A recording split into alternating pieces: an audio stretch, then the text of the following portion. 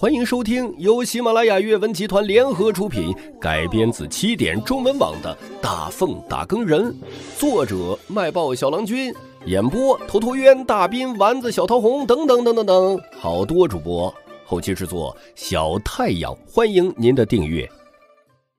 第四百一十一集，大婶儿，你怎么又来了？我遇到一个熟人，去看一看。许清安丢下一句话，便转身下楼，低调的从远处绕过人群，靠向步群经差的老阿姨。楚元稹的目光追随着他，见他的目标是一位上了年纪且姿色平平的妇人，顿时笑出声。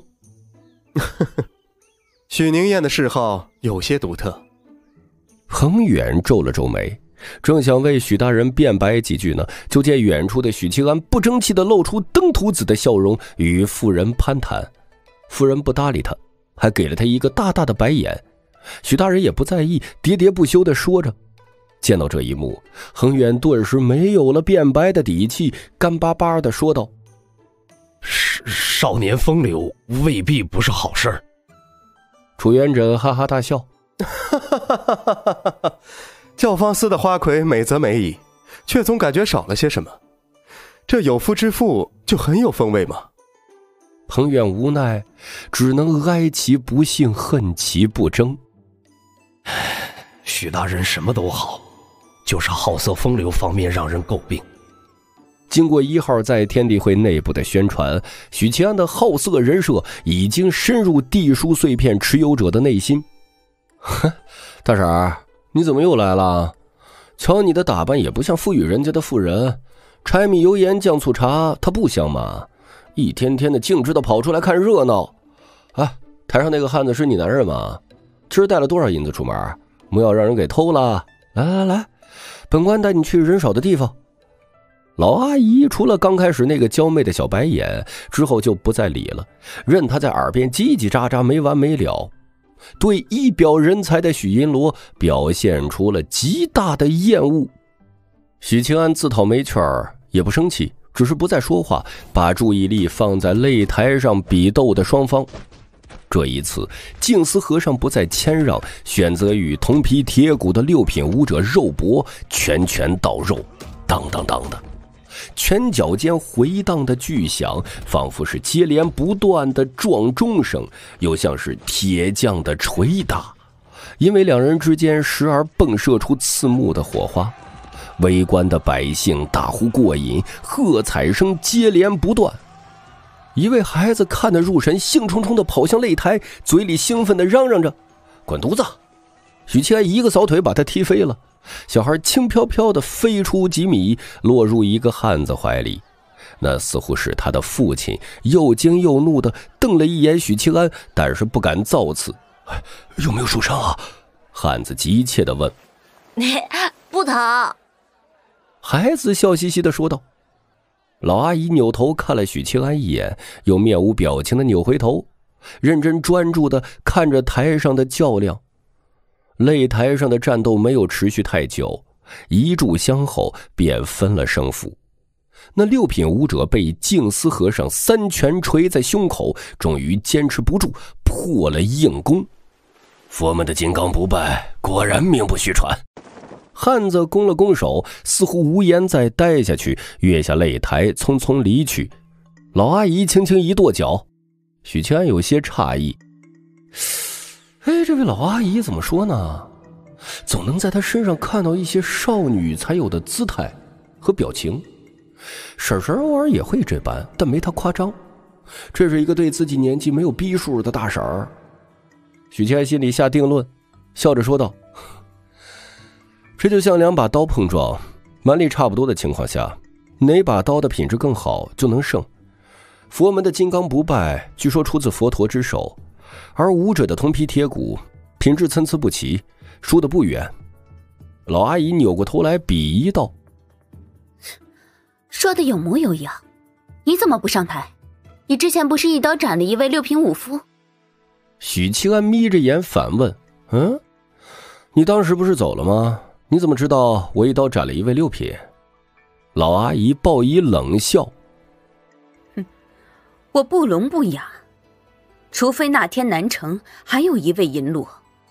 喂，那天是你喊人来打我的吧？大婶，你是哪家的夫人？男人在哪个部门任职啊？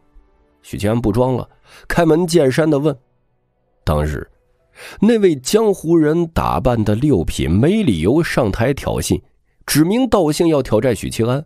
他本可以直接捉拿，不过为了装啊，为了人前显圣，选择出面应战。事后没等他去审问，江湖五夫便被人提走。从打更人衙门提人，谁能做到呀？许清安猜测是自家人，要么是军方的人，要么是某位大人物养的客卿。就在刚才，许清安见到同样是六品的武者上台，见到了混在围观群众里的老阿姨，忽然灵感迸发，想起自己确实得罪过人。这位老阿姨的身份绝不像她外表那么朴素平常，而那天自己确实得罪过她。虽然不算什么大事儿，可是以女人的小心眼就另当别论了。许谦有理由怀疑那天的六品武者是受了这位老阿姨的指使。听到许清安的质问，老阿姨展颜一笑：“你上台把这个小和尚砍了，我就告诉你。”许清安摇了摇头：“怕了。”他眼里的鄙夷更深了：“是怕。”我好不容易让自己从佛门使团的视线里摘出来，我可不想和佛门僧人有过多的瓜葛。但是许七安还是忍不住按住刀柄。我斩不破他的金刚不败，也好叫你知道，一山更比一山高。罗阿姨撇撇嘴，眼里的神色很复杂，既有失望，又有得意。这时候呢，一位青衫剑客从旁边的酒楼腾飞而出，轻飘飘的落在擂台。围观群众一看，又有人挑战小和尚，顿时精神抖擞，打算再吃一波瓜，顺带讨论青衫剑客何许人也。楚元稹，许清安听见老阿姨嘀咕了一声：“嗯，他认识楚元稹？哦，楚元稹以前毕竟是状元郎。”在大凤高层里不陌生，楚状元出手的话，多半是稳了。许七安松了口气。静思这小和尚一直霸占着擂台，朝廷脸面也不好看。小和尚，我只出一剑，你能挡住，便算我输。楚元稹面带微笑，平静的指使静思。徐生又来了。周围的吃瓜群众见青山剑客如此嚣张，对他的印象分大打折扣。这位西域来的小法师坚不可摧，大伙看在眼里。青山剑客口出狂言，很容易让人联想到是投机取巧、渴望一举成名的江湖人士。施主，请。静思双手合十，岿然不惧。有意思。楚元稹笑了笑。眼里没有胜负欲，反而是凑热闹的成分居多，与周围的群众一样。接着，楚元稹做了一个所有人都看不懂的动作，他朝天空伸出了手，张开手掌心，背在身后的那柄剑一动不动。就在众人以为他虚张声势，打算狠狠嘲笑之际，有人看见一粒石子从自己脚边飞了起来。越来越多的石子腾空而起，蜂窝似的涌向青山剑客的掌心。砰砰砰的撞击声里，石子与石子严丝合缝，一个剑柄成型了。随着石子的汇聚，一把四尺长的石剑成型。哗的一声，四周爆发出哗然声。大部分群众都是看个热闹，越是花里胡哨，在他们眼里就越厉害。楚元稹的这一手就很花里胡哨，巨石为剑，简直是神仙手段，可比从头到尾只挨打的西方和尚有看头多了。厉害！老阿姨眸子亮晶晶的，忍不住喝彩。本集已经播讲完毕，感谢您的收听，更多精彩内容请在喜马拉雅搜索。头陀渊讲故事，谢谢。